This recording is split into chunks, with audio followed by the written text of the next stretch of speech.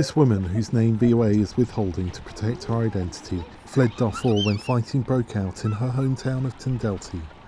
She says men from the Janjaweed, an armed group of mostly Arab origin who victimised black Sudanese, entered her home where she and her sister were sheltering from fighting. She says the men raped her and her sister. Muna Malik is a gender equality activist from Darfur.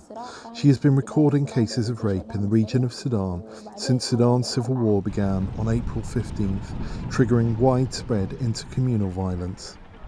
The war involves two rival generals locked in a power struggle.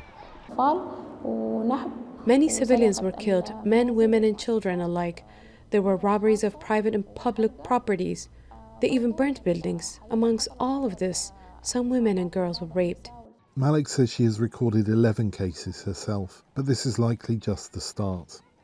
The UN has said it is gravely concerned about reports of sexual violence, including rape, against women during the Sudan conflict. Because most investigators and journalists have been unable to access Sudan since the conflict started, it's difficult to know the extent of the crimes.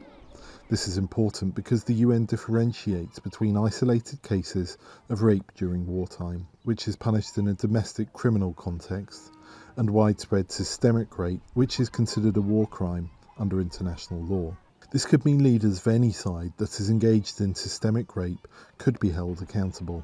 Asked if there is evidence of systemic rape in Sudan, a UN official told VOA so the verification of these cases, which is ongoing by the United Nations, will help to establish the patterns that exist.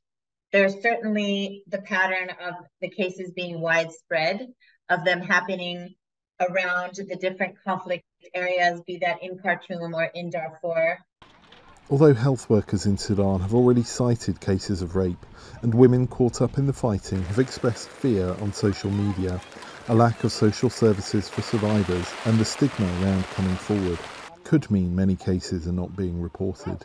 The UN Population Fund's deputy representative for Chad, Elsie Kakan, said she recently met around 10 girls at a refugee site on the Chadian border. The adolescent girls pregnant in this group of newly arrived people. All of them are around 15 and 17. That was the average age I have. I wanted to understand if they were with their husband, but none of them could show me a husband, which means these girls were victim of something we may not identify for now, because people here will not easily come out. They went uh, uh, uh, rape. The survivor, interviewed by VOA, says her sister is now pregnant as a result of rape. Henry Wilkins for VOA News, Kafrun, Chad.